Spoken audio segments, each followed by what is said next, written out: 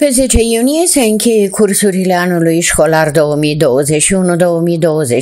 cu două excepții. Astfel, pe 27 mai vor încheia cursurile absolvenții de liceu, apoi o săptămână mai târziu, pe 3 iunie, vor încheia cursurile și șelevii de clasa 8 -a, numărul acestora în județul Hunedoara fiind de peste 3000. Reprezentanții Inspectoratului Școlar Județean Hunedoara dau asigurări că nu vor fi probleme cu înscrierile la examenele de final de an, dar nici cu cele școlile de la școli sau grădinițe. În plus, se reamintește elevilor de clasa 8 că se pune un uh, accent din ce în ce mai mare pe învățământul tehnologic și profesional. În perioada următoare trebuie să urmărim uh, obiectivele imediate, adică ne apropiem de finalul anului școlar 2021-2022.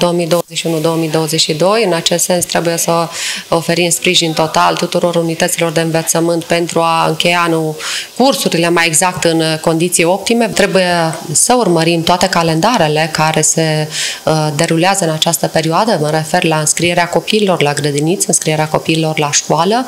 Uh, totodată să pregătim examenele naționale mai ales examenele de uh, evaluarea națională și examenul de bacalaureat. Cu siguranță continuăm toate proiectele care se află în derulare și dorim categoric să scriem uh, noi proiecte care să aducă uh, un plus valoare pentru învățământul hunedorean.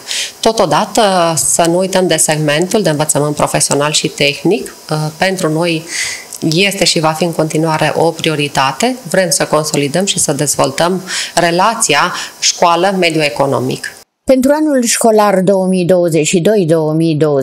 în județul Hunedoara vor fi 121 de clase a noua. Dintre acestea, 48 vor fi la profil teoretic și 9 la cel vocațional. Totodată există alte 31 de clase de liceu cu profil tehnologic. Diferența de 33 de clase se regăsește în școlile profesionale, iar șapte dintre acestea vor fi în sistemul de învățământ dual. Astfel, cu mai mult de jumătate de clase cu profil tehnologic și profesional, județul Hunedoara se conformează cerințelor europene care spun că acest gen de învățământ trebuie să devină predominant.